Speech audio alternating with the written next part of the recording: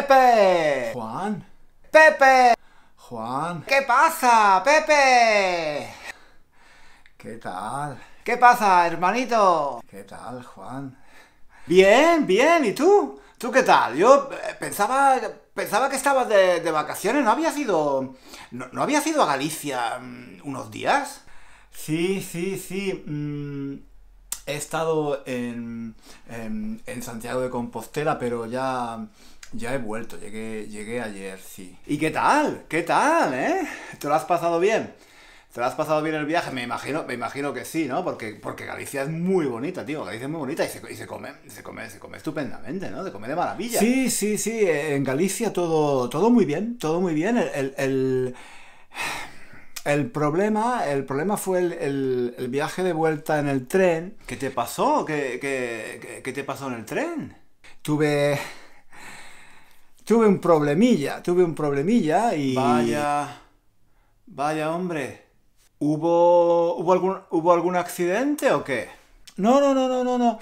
No hubo, no hubo ningún, ningún accidente. No te preocupes, no te preocupes, no te preocupes. ¿Estás bien?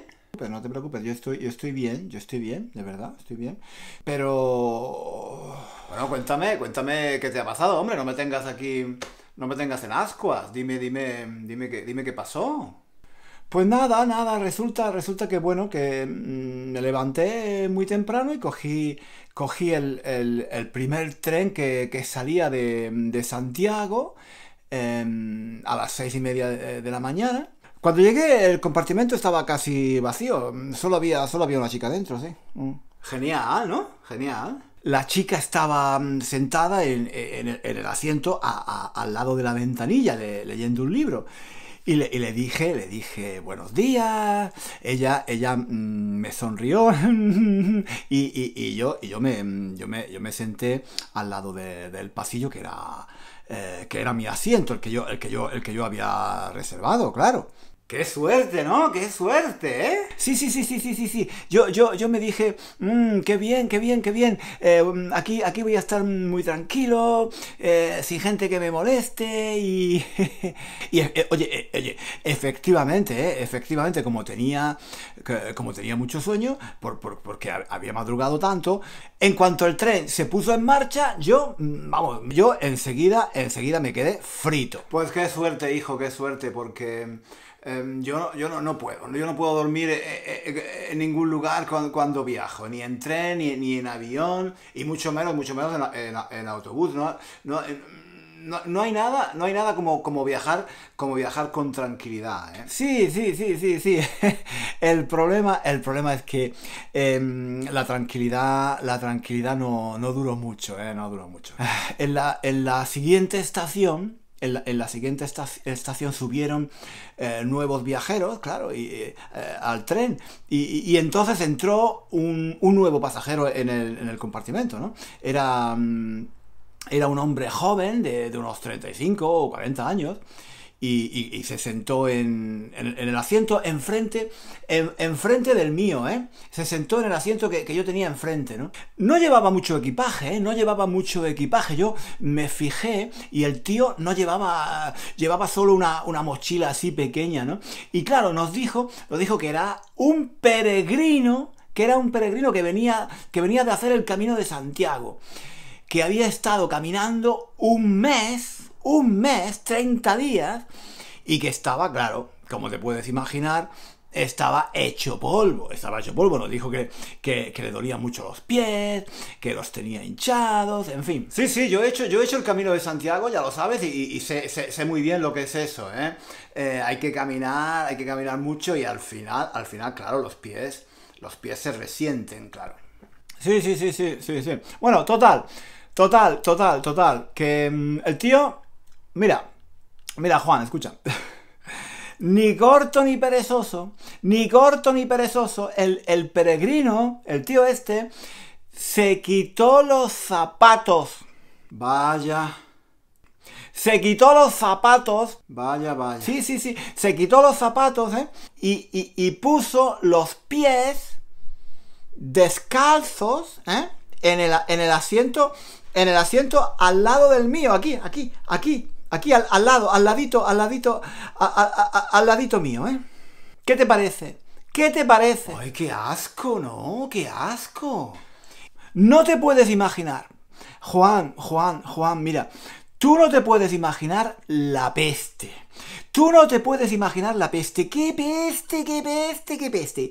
¡Qué peste, qué peste, qué peste! Mucha peste, mucha peste. Se llenó, se llenó todo el compartimento de, de olor a pies. Un olor, un olor a queso, un olor a queso mmm, fuertísimo. Ese, ese, ese, ese, queso francés, ese queso francés que, que, que huele tan mal, yo no, no, sé cómo se llama, pero que, que huele fatal. Mira, el ambiente era irrespirable. Irrespirable y ahí no, no, se podía respirar, Juan, de verdad. Yo, me, me, estaba ahogando. ¿Y no, no, no te quejaste?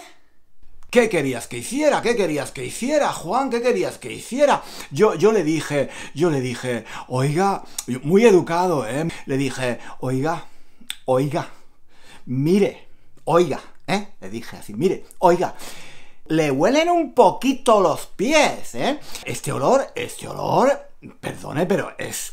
Es insoportable, es insoportable. Aquí no se puede respirar. Póngase, póngase inmediatamente los zapatos, hombre. Póngase los zapatos. Meta esos pies en los zapatos, no los tenga fuera. Aquí no se puede respirar. Esto es irrespirable, irrespirable. Y el tío, el tío Juan, el tío va y me dice, me dice, lo siento, lo siento, pero los pies, los pies también necesitan respirar. Mm. Eh, yo no puedo, yo no puedo ponerme los zapatos porque llevo, llevo un mes con ellos puestos y tengo los pies muy hinchados. Me duelen mucho, me duelen mucho y necesito descansar. Yo soy un peregrino, yo soy un peregrino. Hombre, hombre, la verdad es que un, un, poco, un poco de razón tenía, ¿no? Un poco de razón tenía este, este tío, ¿no? Entonces, Juan, entonces yo me dije, yo me dije, tranquilo, yo me dije, tranquilo, Pepe, tranquilo, vamos a mantener la calma. Buena idea, muy, bu buena idea, muy buena, muy buena idea, Pepe, muy buena idea, sí, sí, sí. Yo respiré profundamente. Hice mis ejercicios de meditación. Y entonces me dije, me dije a mí mismo, ¿eh? Me dije a mí mismo, bueno, vamos, vamos a abrir la ventanilla, vamos a abrir la ventanilla. Por lo menos, por lo menos que entre un poco de aire fresco aquí, ¿no? Porque aquello era Buena idea, muy, bu buena idea, muy buena, muy buena idea, Pepe, muy buena idea, sí, sí, sí. Aquello era, Juan, yo te lo juro, aquello era irrespirable, irrespirable. Y eso hice, me levanté, me levanté y abrí la ventanilla. Pero entonces, pero entonces la chica, la chica que estaba allí sentada al lado de la ventanilla, leyendo, leyendo un libro, me dijo, ay, ay, no, por favor, no abra usted, no abra usted la ventanilla, estoy muy resfriada, estoy muy resfriada, y fuera hace mucho frío, uh, qué frío, qué frío hace fuera, me voy a poner enferma con la ventanilla abierta. Vaya. Entonces, claro, Claro, yo, yo, que soy un caballero, Juan, tú me conoces, tú me conoces. ¿Cómo soy yo?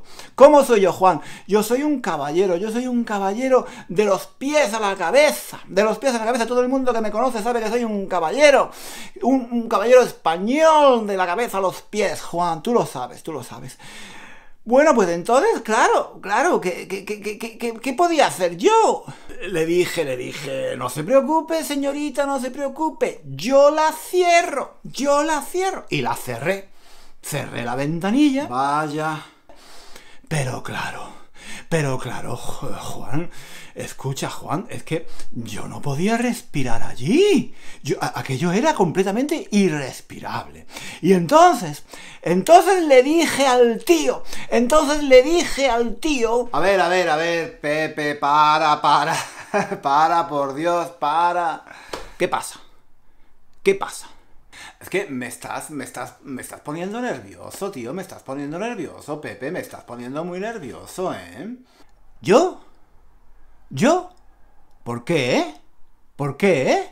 Hombre, hombre, porque estás todo el rato, estás todo el rato, yo digo, él dice, yo dije, él dijo, ella dijo. Es que, es que de verdad, de verdad, Pepe, de verdad, parece mentira, parece mentira que seas mi hermano. Es que, es que no sabes usar otro verbo. Es que solo conoces, solo conoces el verbo decir. Pero, pero, Pepe, hombre, eh, hombre, hombre, Hombre, yo. Yo. Eh, Pepe, me, me, sabe, me sabe mal. Me sabe mal corregirte, pero es que. Es que tienes. Tienes un vocabulario muy pobre, tío. Tienes un vocabulario muy pobre. Eh, usa. Usa otros verbos, por el amor de Dios, enriquece, enriquece un poco tu vocabulario.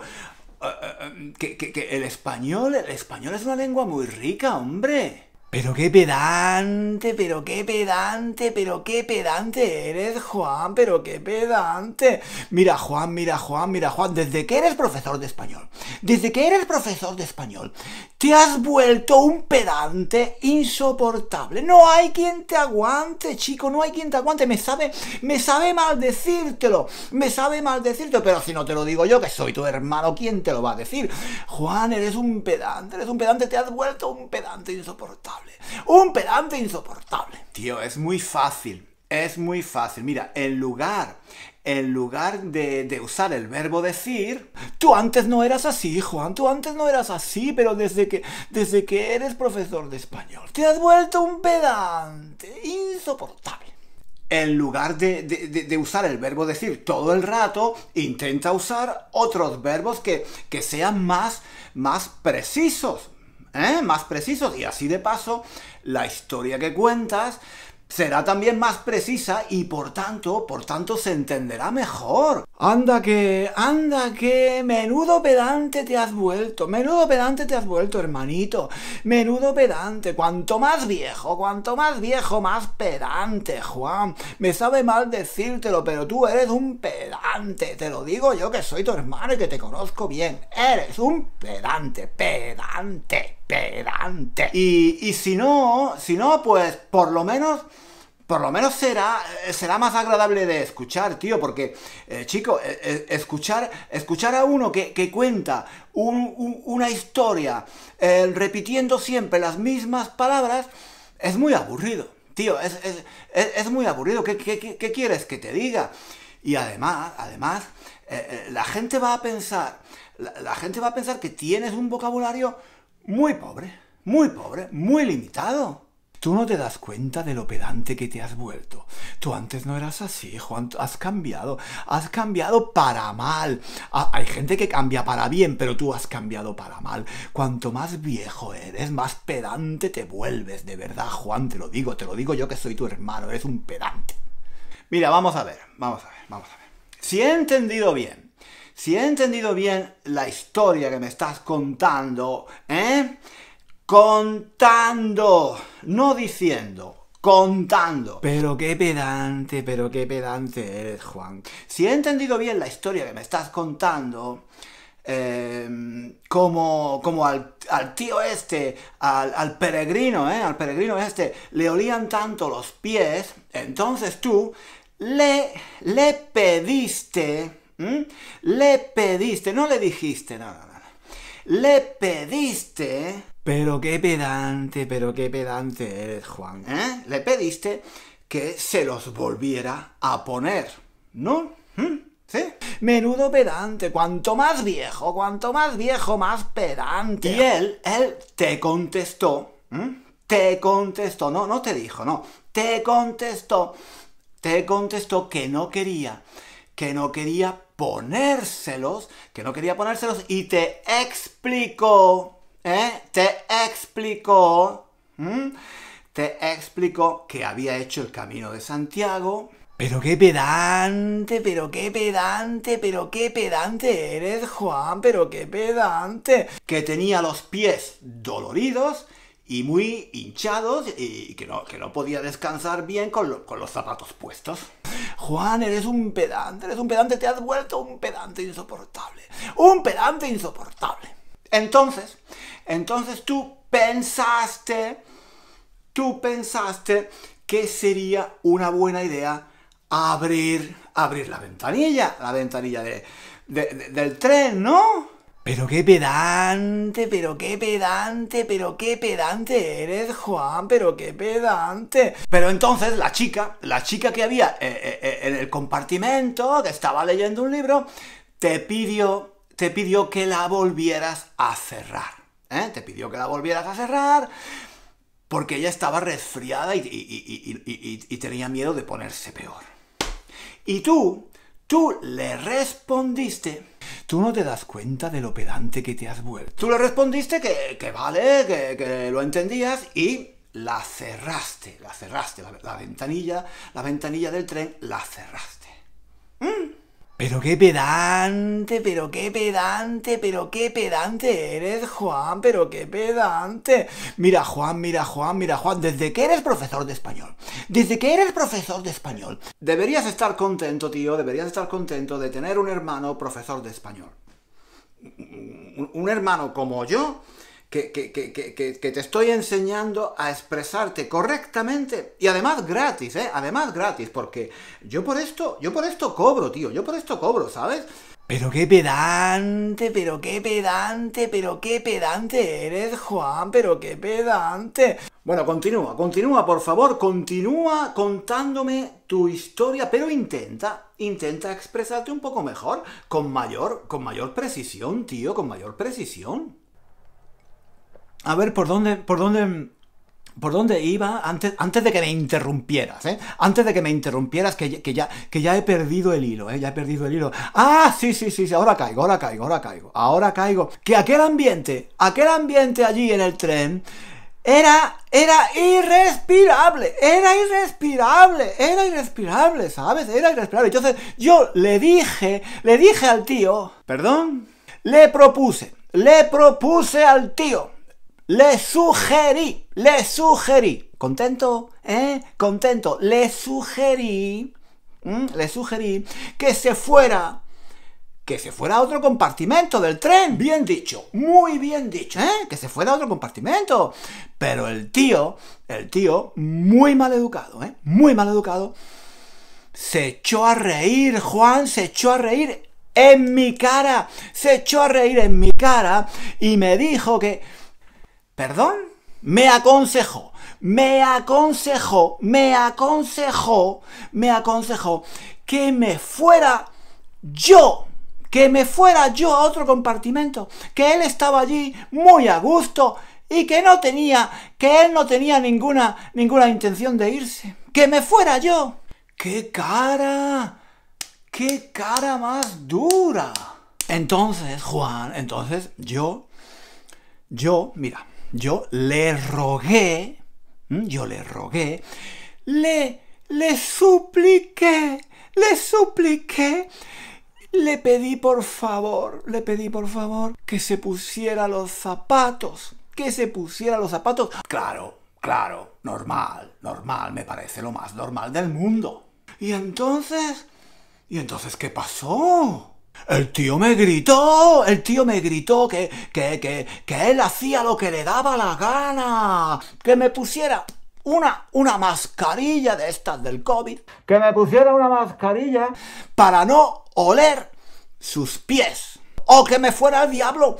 ¡Qué fuerte! ¡Qué fuerte! Y para colmo, para colmo, Juan, ¿tú sabes lo que hizo el tío? ¿Tú sabes lo que hizo? No te lo vas a creer, no te lo vas a creer. No sé. ¿Qué hizo? Se quitó los calcetines. Juan se quitó los calcetines, unos calcetines sucios, viejos, asquerosos, que había llevado puestos durante 30 días. ¡Qué asco! ¡Qué asco! Se quitó los calcetines y puso sus apestosos pies en el, en el asiento, en el asiento que había a mi lado. ¡Qué asco! ¡Qué asco! Juan, de verdad, de verdad te lo digo. ¡Qué asco, qué asco, qué asco, qué asco! Yo no le dije nada, yo no le dije nada. Perdón, perdón, perdón, perdón, perdón, perdón, perdón. Perdón, Juanito, perdón, Juanito, perdón. Yo no le contesté. Yo no le contesté, no le respondí, no le respondí, me quedé callado.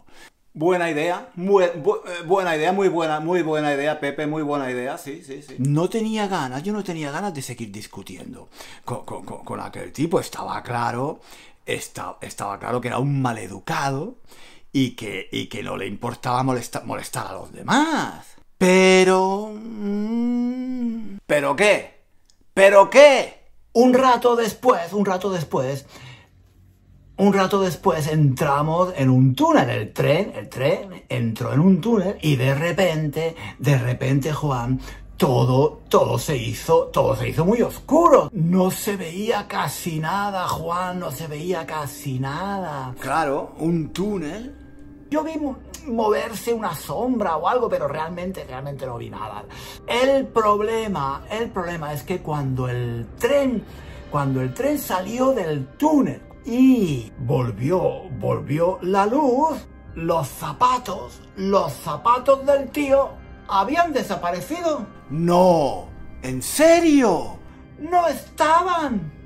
¡Qué barbaridad! ¡Qué barbaridad! ¿Alguien los había cogido? ¡Ay, qué miedo, qué miedo! ¿Y entonces? ¿Y entonces qué pasó?